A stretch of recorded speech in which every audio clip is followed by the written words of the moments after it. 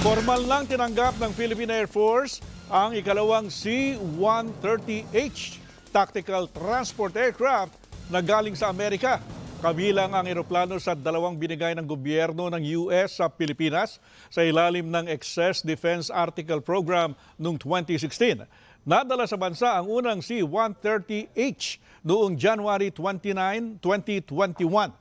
Dumating ang ikalawa noong February 16 pero naisagawa ang blessing ceremony nito Mayo 23. Ayon sa Armed Forces of the Philippines, sa kabuuan ay may lima ng C-130 aircraft ang bansa na magagamit sa mga humanitarian, tactical at strategic mission.